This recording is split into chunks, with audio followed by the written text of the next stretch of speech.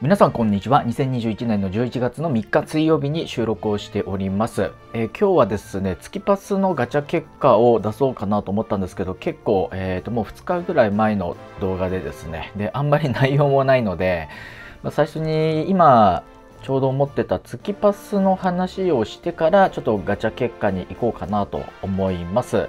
まあね毎回そんなに内容が濃い あの動画をもうお届けはできないと思うんですが少しでもねなんか足してみようかなと思いました。でまあ今回月パスを課金するかって結構迷ったんですよね。まあたかが1000円900いくらとかで今購入中でねあの具体的にいくらだっけ？あ確認するでいいのかな？えー、っとあでも値段が出ないのか。あ960円ですね。ただやっぱ今960円払えばかなりねあの映画見れたりとか音楽聴けたりとかサブスクもね僕 Amazon プライムは入ってるんですけどあれって500円ぐらいですもんね。それで本当毎日楽しめるぐらい音楽も映画も見れてしまうわけでそれの倍金額がするわけですよね。で、まあ、果たしてじゃあ、あのパスポート買う価値があるかというと僕は今の状況結構厳しいなと思ってまして月パスのガチャが、まあちょっと楽しみにしてるぐらいなんですよね。まあ福引きも、あの、すみません、今現在も引いちゃったんでないんですけど、ここにいつもね、月パスで出る、出るんですけど、まあ、これが欲しいっていうのがそこまでないっていうか、まあやっぱこう闇の覇者とか、まあ創生とかね、まあそういったそうお祭り系の装備って入ってこないので、やっぱこの辺ですよね。今、6周年福引きっていう、こういった装備が基本的にはどれか1個みたいな。ただやっぱ1点狙いも厳しいですし、まあ引けないよりはもうね、星5 1個当たるのはいいじゃないかっていうね、話もあるとは思うんですけれども、ただ、じゃあ引いてすぐあの最前線で使えるかっていうと、まあ、ちょっとやっぱ若干古いような装備に僕は思えるので、まあ、ガチャとしての恩恵っていうのはだからといってまあ1000円出すっていう感じではまずないんですよね。で一番恩恵があるのはえーと、スタミナの回復で今回は課金をしました。まあ、最近ねあの夜中ひっそり生配信ってやっていて、まあ、土日とか休みの時は時間変えてみようかなとか今思ってるんですけどそこでスタミナ回復があれば、まあ、部屋たくさん貼れるので、まあ、そこですかね。ただあと気になっているのはロッカーですよね。今ちょっとねあの昔のロッカーなのでこれ古いと思うんですけどあのまあやっぱ課金してないと1個だけですよねロッカーがね。それだと厳しいので、まあ、ただあのイベントにもよるんですよねたくさんさボスが出てくるようなイベントだとロッカー必要なんですけど今回みたいにまあ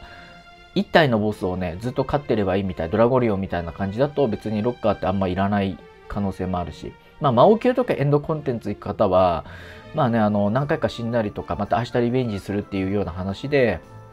ロッカー作っておくといいのかなっていうのはありますよね。うんなので、まあ、基本的にはなんかあのパスポートの強化もう少し恩恵がなんか受けられる要素は最近はなんか入れていいかなとか思っててやり込みが相当きついじゃないですか。だから、まあ、運の良さを上げるとか、まあ、具体的にちょっと何がいいかってまだあんまり考えてないんでまたねこういった雑談もしようかなと思ってはいるんですけどあの、お任せの戦闘で今までずっと使ってたっていうのもあって、ただそれもチケットなしで確かお任せ戦闘ってできるようになったんですよね。あれ、最初お任せ戦闘ってなかった気がするんですよね。なので、まあ、直近でなんか感じられるのは、なんかモンスターの、まあ、育成が一回、こう、パスできるよとか、うん、あとは、あの3倍速ですね。まあ、これは道中確かに使えたりはするんだけど、まあでも 2, 2倍速でお任せしてても自動化できるから、まあ、だから果たしてパスポートがね、あの、買う意味があるのかなっていう。で、今の内容であれば500円ぐらいが僕は妥当かなっていうような感じ。これはもう人それぞれね、あの意見違うので。で、今ヒーローが入ってたじゃないですか。で、ヒーローでのなんかチケットの恩恵も、まあ、もちろんね、今後考えてもいいんじゃないかなと思っていて、例えば、あの、食べ物ね、結構要求度が高かったりもする時あるから、あの、まあ、ゴールドね、ここのゴールドで代用もできたりはするんだけど、お食事券みたいなね、あの、もらって、それでなんか食べ物、お食事券あげると、まあ、その分はパスできるよとか、あと今すごい困ってているのが、あの、すれ違い冒険者で、二次地形をやっぱりあの、設定している人がいないんですよ。うん、ここですよね。で、まあ、振っても、今振ってみようか。うちってどのぐらいかな？えー、っと、あ、でも、今日はすごい17人いて、今1人二次地形が、あの、手に入ったのは、多分今日祭日だからですね。で、普段は2、3人とかばっかです。今日びっくりした。今なんかいい動画が撮れちゃったんですけど、もうこんなに集まんなくて、で、二次地形1週間設定なしとか普通にあるんですよね。だから、ジェム50が全く手に入んないっていう時もありますね。だここのかけらが、あの、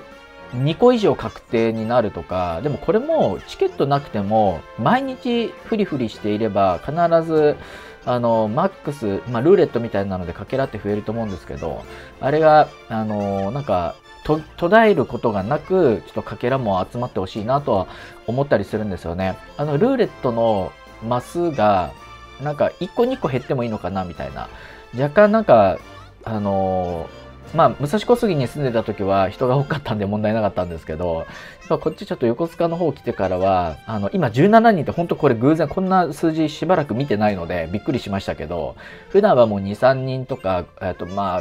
あ、集まって5、6人とかで、まあ、ずっと、そうですね、3、4日もっとかな、やっても二次地形が集まんない。でもね、えっと、1年ぐらい前は二次地形設定結構皆さんしてくれていたんですけど、まあ、もうフリフリしなくなっちゃったのかもしれないですね。うん、これタッチしないと済まないのか。はい、ということで、えっと、まあ、この二次地形はもう先ほど取ったんで、うん、まあ、あの、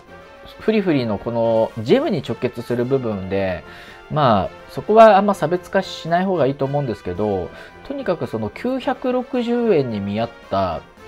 あの内容をもうちょっとだけねあの考えて次のアップデートでなんかあのまあお祭りの日とかでもいいのでなんかパワーアップしてくれると僕もちょっと課金してもいいかなと思うんですけど、まあ、それがこの内容だと500円が 僕はなんか妥当な気がします。はい。なんかアマプラとか本当にさ、今すごいいいサブスクばっかで、やっぱその値段の比較がされちゃいますよ。うん。まあ、モガステはね、あの、恩恵、そのプレミアルームだっけ？あれがいつでも開けるよっていう。ただそれでもやっぱり地図のお題きついから、そうです。なんか、あの、フィーバータイムが続くとか、うん、まあ、あんまやりすぎもね、こう差が出ちゃうからっていうのもあるんですけど、どうしてもね、そのお金は別にないわけじゃないんですよ。1000円ぐらい払うし。ただやっぱりそのサービスに見合ってるかっていったところで僕は見ちゃうので、そのいくらってっていうその安いからいいじゃないかっていう話じゃなくてちゃんとその値段に見合っているものを提供できているか、まあ、あとはまあ普通にねもうそれ以前の問題で星ドラを続けるような面白さがこのゲームにあるのかみたいなね究極は話になっちゃうんですけれどもね。はいということで今日は、えー、冒頭にですねあのー、月パスのね、件で、毎回最近ちょっと迷って課金どうしようかなとか思ってる状態なんで、まあ本当生配信やってなかったら今回課金してないです。うん、だから、ちょっとね、あの、月パスの内容の、えー、見直しというか、強化はしてほしいなと思いました。ではですね、えー、簡単な内容ではございますが、月パスの、えー、内容を流して終わりにしたいと思います。また次回の動画、ラジオ等でお会いいたしましょう。さようなら。